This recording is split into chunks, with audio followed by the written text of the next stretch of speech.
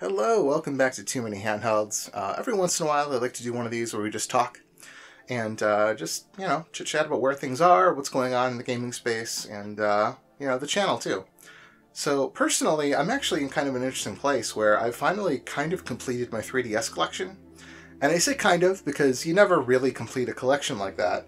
But at this point, I have all of the ones that I wanted. Um, which again isn't to say I'll never buy another one, but it's very, very unlikely that I'll buy another one. Um, the only ones that are left that I don't have, I'm either indifferent about. There might be colors like uh, I don't have um, like a regular red one or purple one, but like I also don't really. I'm not like clamoring to get those or anything. Like I really don't care if I ever have one or not. Or um, they're just really overpriced to the point where I just don't care enough to spend that much money on them. So at this point, I think I'm pretty happy with my collection.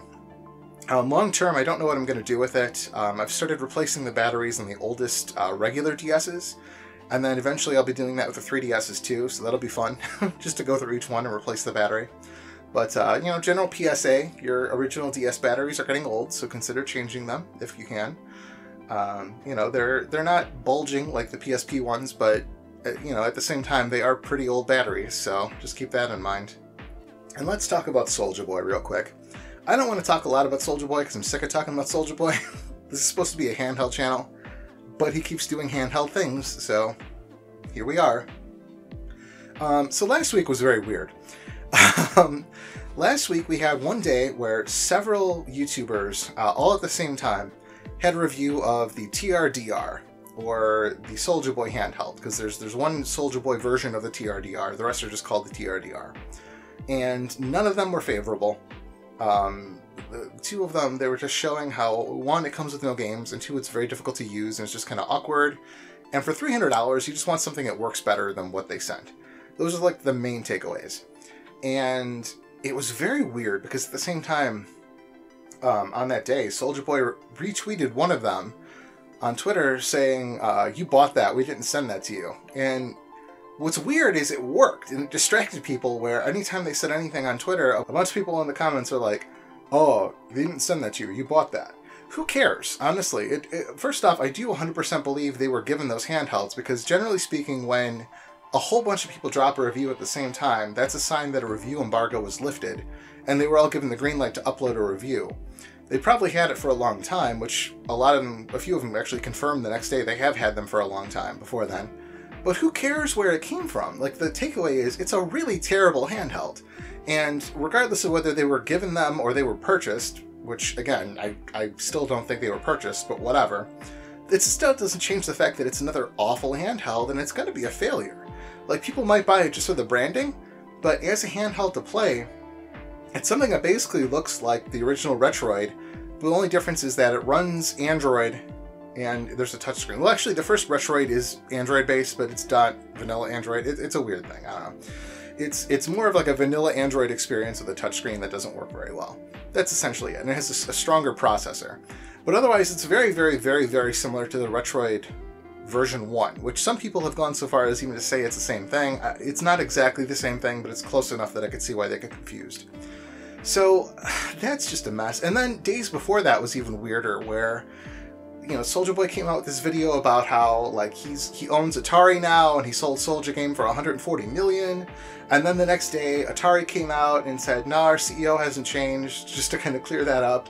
And he threw a hissy fit like a child. He got really upset and he was just online like cussing out Atari and just huffing and puffing and being all angry. And it's just it's basically like you know if you ever see a kid in a store and they ask their parent for a toy and the parent tells them no and they just lose their mind and have a meltdown it was like that, only it was weird because it's a grown adult doing that.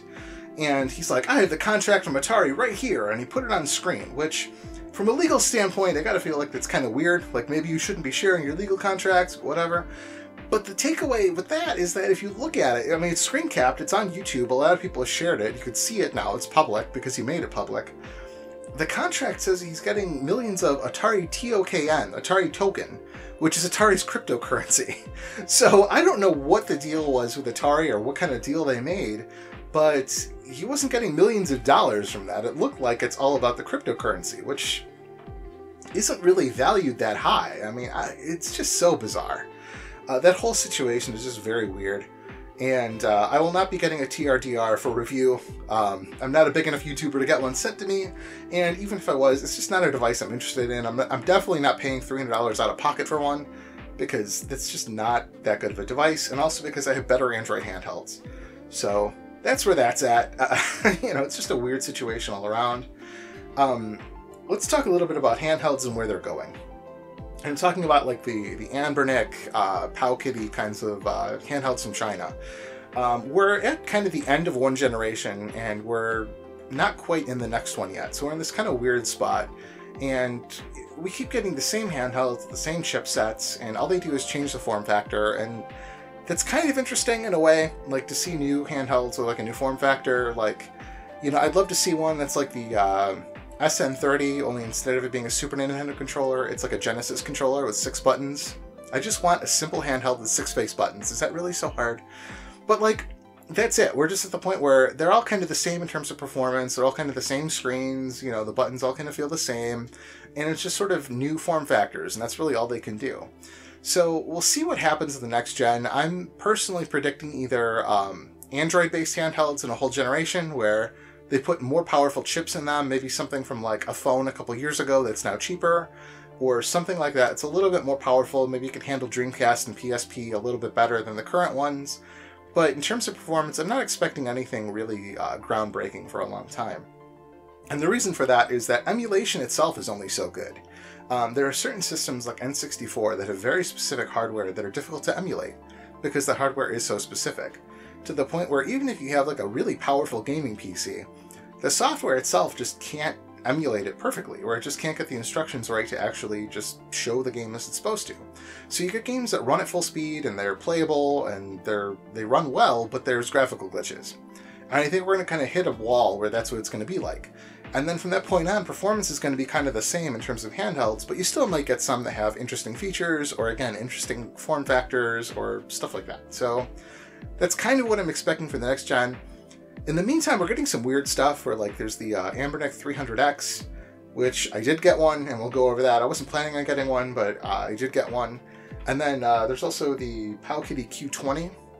And both of those devices take existing parts, or at least they seem to take existing parts from previous handhelds, and put them in new shells. And then they're pitching them as new handhelds that are, with the 300X at least, very overpriced. Um, I think you know, if you're doing something like that, at least discount it a bit. The Q20 was pretty cheap, so I think that's a little bit better on Powkiddy's part, but like, it's kind of weird that Anbernic has been putting out all these really great EmuELEC handhelds over the last year, and then they put out one that's OpenDingux again, and then they're charging a hundred bucks for it, and it's like, why? You know, that's that's just bizarre.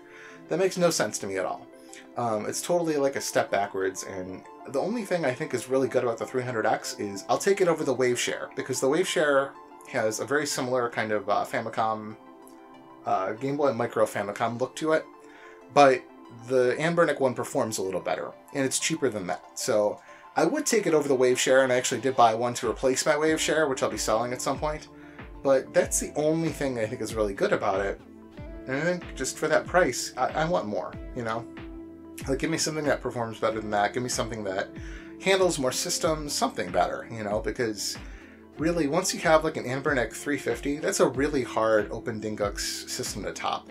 And I'm finally making that video. I have not made a video on the Anbernic 350, even though I talk about it all the time. Um, that's actually on deck for today, so I'll be recording that at some point. And finally, on the note of recordings in general, um, I'm not going to be recording for a little while. Like, I'll, I'll record a bunch today, so I'll have some videos for foreseeable future. But then beyond that, I'm taking another little break just because again, there's something new coming out, and I still have a bunch of old handhelds to go over, but I'm just going to take some time. I mean, it's the fall, there's stuff going on with work. Personally, I just got a Mega SG from Analogue, and I want to play the crap out of that. And I'm just going to use my free time a little bit different and not make as many videos as I have been. Um, which isn't to say, again, more videos aren't coming. Like, if I have a free day, I might make a whole bunch of them and then upload them one at a time. But, uh, you know, we'll go from there. We'll see what happens. So, thank you for listening. Again, always remember to charge your handhelds and uh, I will see you next time.